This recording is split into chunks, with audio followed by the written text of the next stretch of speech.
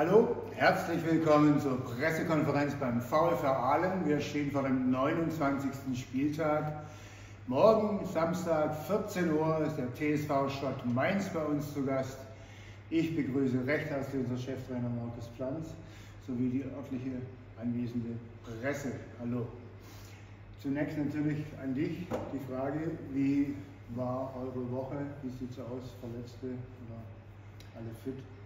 Ähm, ja, ziemlich, ziemlich alle fit. Äh, Jascha Döringer kommt wieder zurück im Kader. Dafür ist äh, jetzt Janik Thermann gesperrt, äh, mhm. noch mit seiner zehnten gelben Karte. Ansonsten war es eine, eine, sehr gute Trainingswoche. Warten wir das Abschlusstraining ab und dann gehen wir frohen Mutes äh, morgen in das Spiel gegen Schottland. Sehr gut, vielen Dank.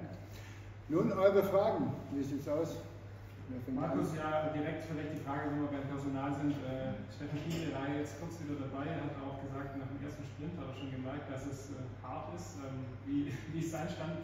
Geht es mehr als 10 Minuten jetzt schon? Ja, er packt jetzt zwei Sprints.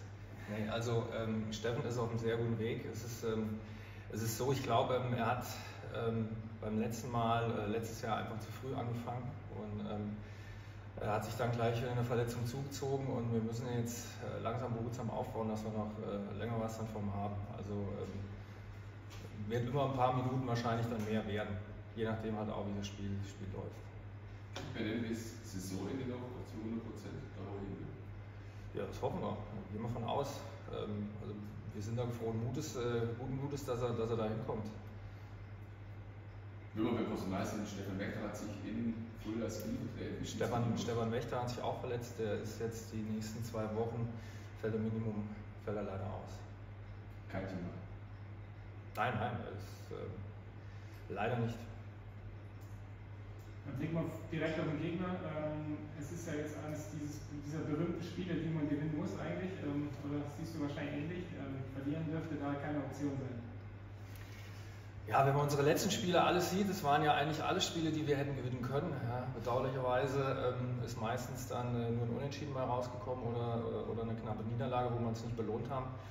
Und ähm, ja, Schott Mainz äh, sollte man dringendst äh, natürlich äh, drei Punkte holen und sich jetzt wirklich für die, für die wirklich guten Leistungen, die wir gebracht haben, dann, dann letztendlich auch, äh, auch mal belohnen. Wobei Schott Mainz, muss man sagen, die spielen befreit auf, haben auch 3 zu 1 äh, auswärts in Steinbach-Heiger gewonnen haben, haben nichts mehr zu verlieren, ähm, spielen da eigentlich relativ ohne Druck nach vorne. Und ähm, ja, ähm, es wird äh, ein interessantes Spiel werden. Inwieweit ist denn der Druck in der Mannschaft zu spüren, wenn wir jetzt auf die Tabellensituation Der Druck wird überwiegend von außen reingebracht. Jetzt, äh, Druck in der Mannschaft habe ich jetzt keinen feststellen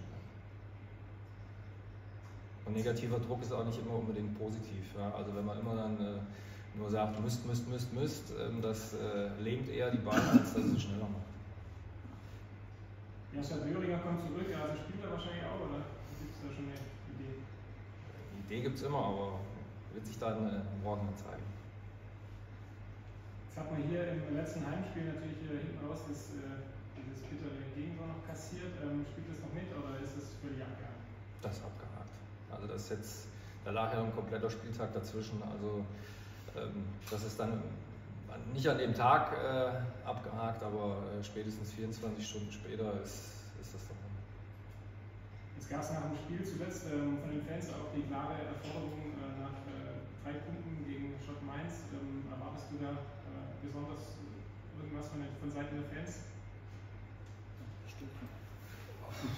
Ich, äh, ich, war nicht, ich war immer, ja, dass, dass, ja genau, an Flex recht, dass sie Vollgas geben, dass, dass, sie, dass sie Stimmung machen. Ähm, fordern nach drei Punkten, ja, das äh, können sie, das war, ich meine, das wollen wir ja auch. Also es ist ja nicht so, dass wir das nicht wollen. Und ich glaube auch, wer das Spiel in Fulda gesehen hat, der hat eine, gerade in der ersten Halbzeit eine sehr gute Halbzeit von uns gesehen, ähm, wo wir dann halt auch leider dann äh, noch, noch, noch den Elfmeter vergeben, aber wo wir auch äh, viele Möglichkeiten hatten, das Spiel halt für uns zu entscheiden. Aber das ist halt ich meine, ist äh, hier äh, und täglich grüßt oder wöchentlich grüßt das Murmeltier. Ähm, aus unseren Möglichkeiten müssen wir halt dann auch mal ein Tor erzielen. Da ist die Frage natürlich, wie, wie kann man das ändern? Also wie, wie, was kann man da tun? Äh, Im Training kann man das schwierig wahrscheinlich simulieren. Ja, Im Training kann man ähm, jetzt kein, kein Punktspiel simulieren, das stimmt. Ja, aber ähm, wir haben ähm, viel im Training ähm, auch geübt, was, äh, was heißt geübt, hatten, hatten viele Spiele drin, wo natürlich dann auch so Abschluss im, im Fokus stand und ähm, dass man da Sicherheit bekommt. Aber ich habe das äh, ähm, auch schon, schon mehrmals erwähnt. Also ich habe diese Situation schon mal erlebt, wo wir, wo wir noch das Ende angefangen haben. Haben das Spiel komplett so umgestellt, wie wir jetzt auch spielen. Und ähm, das dauert eine gewisse Zeit, bis man aus diesem Ballgewinn dann noch bessere Lösungen findet. Aber wenn es dann mal ähm, wirklich dann der Knoten geplatzt ist, dann ist er geplatzt und dann funktioniert das eigentlich auch. Dann kommt noch mehr Glaube, ähm, auch was das letzte Drittel bzw. der Torabschluss angeht. Weil bis dahin, glaube ich, spielen wir das äh, sehr, sehr, sehr, sehr gut. Zeit ist so ein Faktor, den hat man aktuell wahrscheinlich eher nicht, oder? Wir haben noch sechs Spiele Zeit. Du hast gesagt, der Druck kommt von außen vorwiegend. Ähm, jetzt ist es aber so, die Mannschaft kann die Tabelle auch lesen. Spürt man da gar nichts, muss man darauf einwirken oder, oder ist wirklich diese Lockerheit nach wie vor komplett da? Die Lockerheit ist nach wie vor noch komplett da im Training, ja. Gibt es Überlegungen vor dem Angriff was zu ändern? Personell? Vielleicht, aber werde ich jetzt hier nicht sagen. Taktisch was verändern? Warum? Funktioniert ja. Weil ich glaube, äh, es, es, haben ja auch schon ein paar, ähm, ein paar Freunde von mir, die auch ein bisschen noch höher trainieren, das Spiel gesehen haben, gesagt, taktisch besser kannst du nicht einsteigen. Also sehe ich halt auch so. Vielleicht Satz zum Gegner. Die Gegner dort vermutlich die Liga nicht halten. Ähm, wo sind sie aus deiner Sicht anfühlt? Ja gut, das, das sieht man, also sind, wie gesagt, sie haben, sie haben nichts zu verlieren. Ähm, spielen da befreit nach vorne auf. Ähm, wo sie manchmal Probleme haben, ist natürlich dann auch ein bisschen, ähm, sagen wir mal, in der Restverteidigung haben wir schon einige Gegentore kassiert. Äh, wie sie hier auftreten, das wird sich zeigen, ob sie das ein bisschen defensiver angehen, ob sie, ob sie wie gegen Steinbach-Heiger frech nach vorne spielen, aber das wird ja dann das Spiel zeigen. Siehst du Stärken beim Gegner oder welche Stärken siehst du beim Gegner? Also wenn man jetzt das letzte Spiel nimmt, ich klammer immer so ein bisschen die Heimspiele von Schott Mainz aus, weil sie auf dem, auf dem Kunstrasen stattfinden. Ähm, gegen Steinbach-Heiger haben sie sehr gut umgeschaltet, haben sich gut durchkombiniert und ähm, haben völlig zu Recht das Spiel 3 zu 1 gewonnen.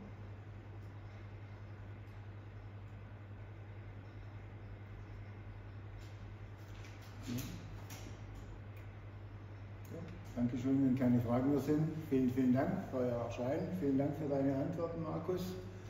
Und wir sehen uns morgen hier, 14 Uhr, ist Anpfiff. Stadion ist offen ab halb eins. Und ihr seid herzlich eingeladen. Bis dann, bis morgen. Tschüss. Ciao.